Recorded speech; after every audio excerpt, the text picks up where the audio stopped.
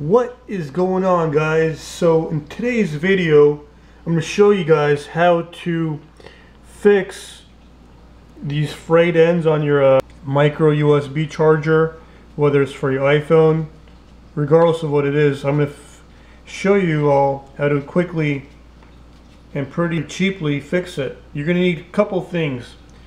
You'll need a heat gun as you can see here and you'll need some uh, heat shrink tubing okay? This is 120 piece and there's a bunch of different sizes. So both sides we're going to fix this side and this side.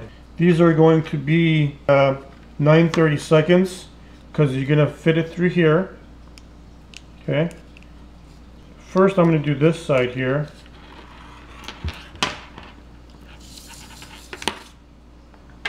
I'm just going to put all the way to the top like this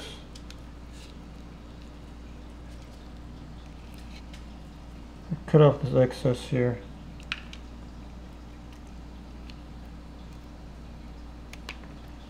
And just put it over the top like this.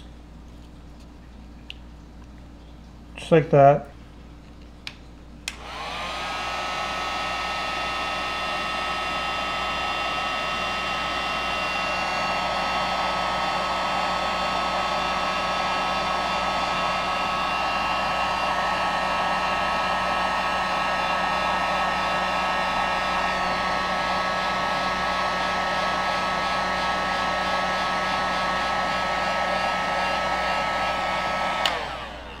It.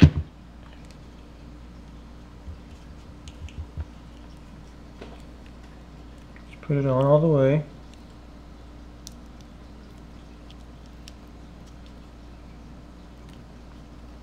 Feed it through and I'm going to put it all the way to the edge like this. There we go.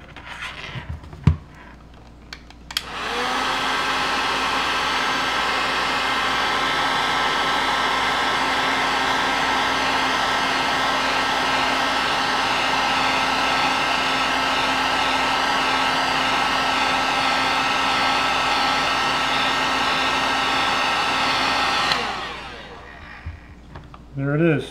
There it is. So uh,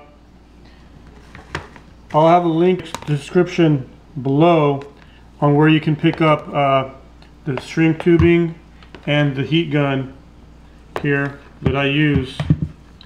Want to thank you guys for watching my video. If this helped you out, please uh, thumbs up and subscribe to more how-to videos where I'll teach you guys how to save time and money.